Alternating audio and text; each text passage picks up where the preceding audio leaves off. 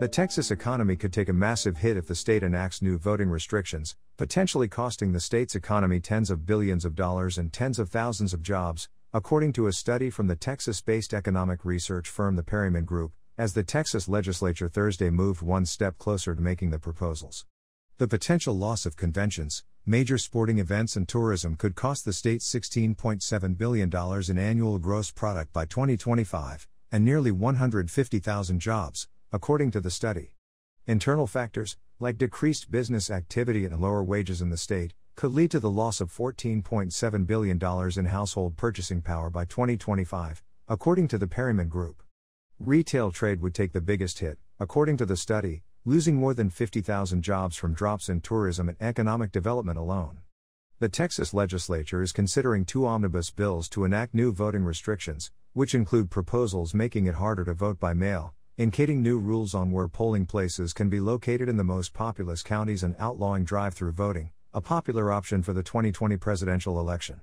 One of the bills, House Bill 6, passed the Texas House Committee on Elections Committee by a 5 to 4 party line vote Thursday, and will now be considered by the full Texas House. If you strip away all of the emotion and all of the politics and say this is just what happens in the economy, that is what we're analyzing, Dr. Ray Perryman said in an interview with Forbes. Perryman said his firm's modeling relies on 40 years' worth of data and academic research, which has consistently shown voting laws that are restrictive or have the appearance of discrimination lead to negative economic impacts.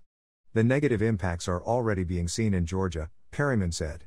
The long list of companies condemning the state's new law will likely mean fewer conventions in Georgia, which mean fewer visitors spending money in the state, while some socially conscious travelers also choose to stay away.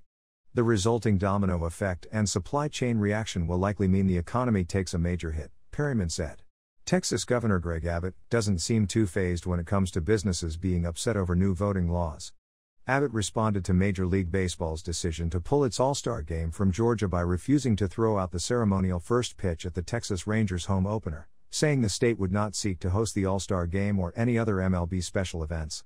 Texans have plenty to say about the proposed restrictions, as the Texas House Committee on Elections found out. Last week, the committee held a 22 hour hearing on House Bill 6, featuring hundreds of speakers.